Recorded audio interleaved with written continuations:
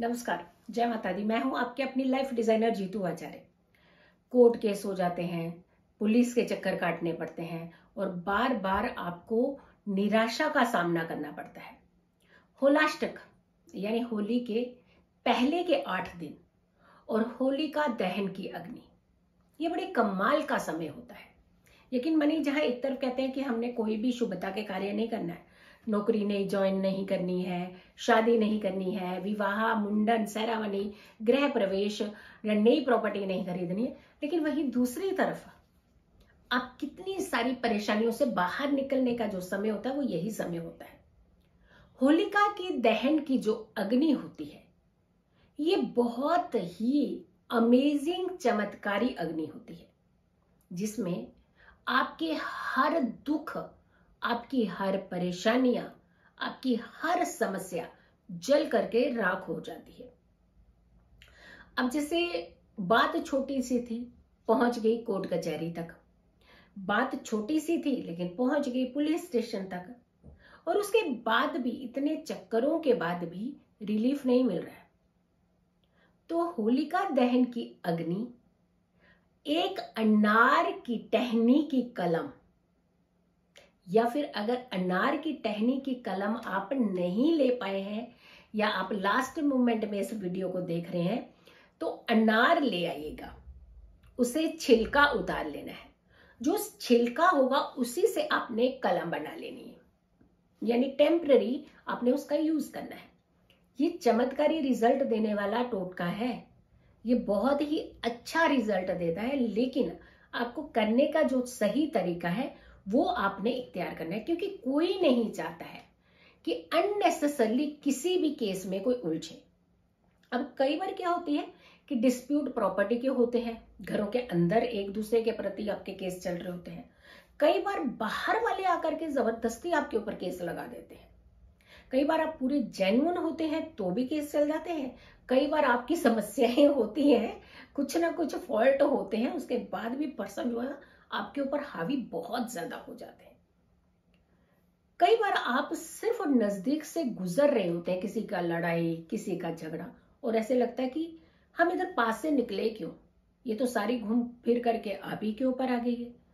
तो यानी कंसर्न ये है कि कोर्ट कचहरियों में ये जो आना जाना होता है ना, ये बहुत ज़्यादा डिस्टर्बिंग होता है। और ये कहीं ना कहीं आपकी स्ट्रेंथ को कमज़ोर करता है। फाइनेंस सिचुएशन तो डेफिनेटली आपकी खराब करता ही है, लेकिन आपको कि मेंटल स्ट्रेस देता है। फिजिकली आपकी एक्सर्शन करवाता है।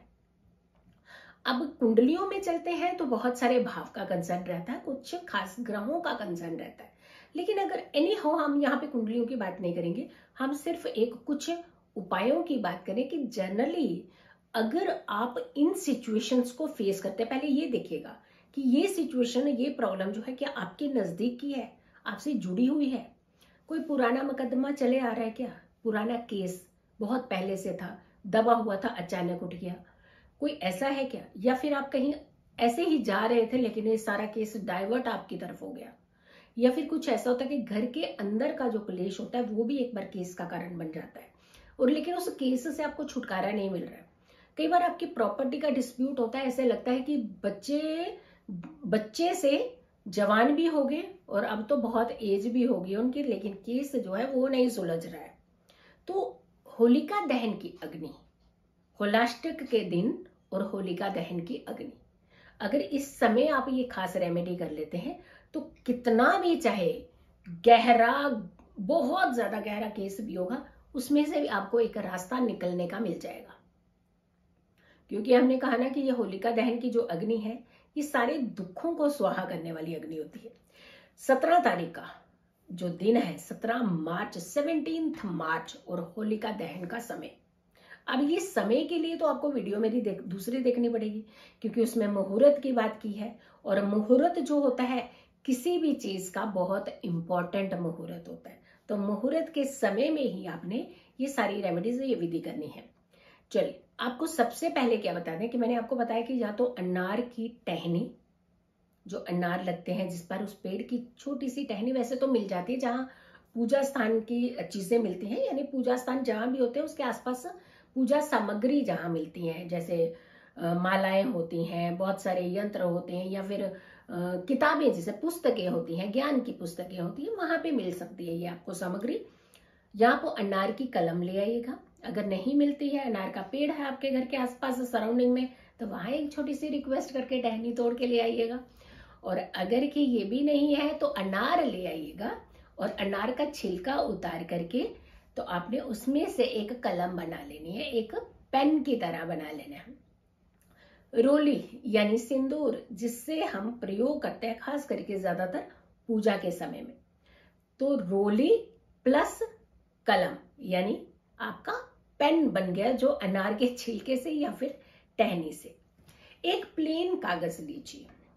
प्लेन कागज़ के चारों कोनों में तिकोना यानी ट्राई एंगल बनाना है आपने। ट्राई एंगल जिनकी ड्राइंग अच्छी है, वो तो बहुत अच्छा बना लेंगे। अगर के नहीं भी अच्छी है ड्राइंग तो भी आपको घबराने की ज़रूरत नहीं। यहाँ खूबसूरती नहीं देखी जाएगी, यहाँ पे ऑथेंटिसिटी देखी जाएगी कि आपने एग्जैक्टली क्या करा है।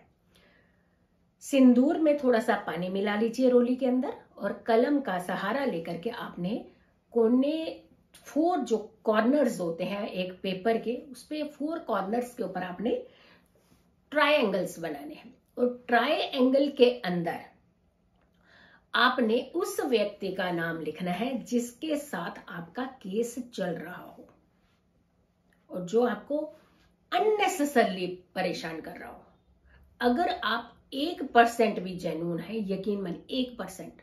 अगर एक परसेंट भी आप जेन्यून है तो ये केस आप ही की फेवर में भी जाएगा और आपको छुटकारा भी मिलेगा। उस व्यक्ति का चारों कोनों में आपने नाम लिख लेना है। जो ट्रायंगल्स बने हैं ट्रायंगल के अंदर ही ट्रायंगल भी आपने रोली से बनाना है, उस कलम से बनाना है। जो पानी के साथ रोली गिली की है वाटर का, गंगा जल का इसमें प्रयोग नहीं कीजिएगा। और उसके बाद जो ट्रायंगल के अंदर ऐसा ट्रायंगल बनाइएगा कि आपने नाम लिखना, अगर नाम इतना बड़ा है सर नेम भी साथ में लगे तो ट्रायंगल उसके अकॉर्डिंगली उस साइज़ का बनाइएगा कि उस व्यक्ति का नाम जो आपने उस ट्रायंगल के अंदर लिखना है। चारों कोनों में आपने नाम लिख देना है। थोड़ी सी पीली सरसों का आपने दो दो दाने जो है, चारों ट्रायंगल पे रख देने हैं और साथ में थोड़ी थोड़ी रोली आपने चारों ट्रायंगल में रख देनी है। उसके बाद आपने इसे फोल्ड कर लेना है।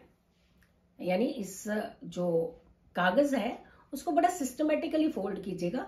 फोल्ड करने का कंसर्न ये है ना आपकी रोली जो है वो बाहर निकलनी चाहिए और ना ही आपकी रोली के साथ जो पीली सरसों है वो भी बाहर नहीं दिखानी है निकालनी नहीं है। अगर आपको किसी कारणवश वो दा, दाने नीचे गिर जाते हैं तो उन्हें उठा करके उसी कागज़ के अंदर ही रैप कर लीजिएगा।